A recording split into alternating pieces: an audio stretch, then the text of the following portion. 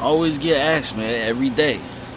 Why you keep the sticker on your hat, man? What's that about? Why why you gotta keep the stickers on your hat, man? It's you know, it looks stupid. It, it looks gay. It's a, it's a gay fashion trend. Like why why would you do that, man? I'll tell you why, man.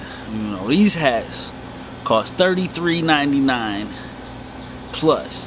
So I'm not fixing to be out here. You know, you never know what a motherfucker might have on their fingers, man.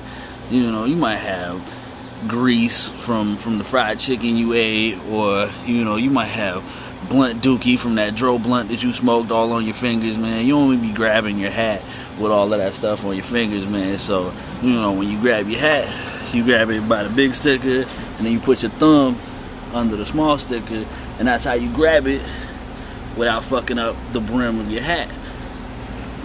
Keeps your hats fresher longer, you know what I'm saying? And, you know, it just looks cool and it keeps people wondering, you know what I'm saying? And, you know, if they talking about you, then you obviously doing something right. So, you know, that's why the stickers is on your hats, man.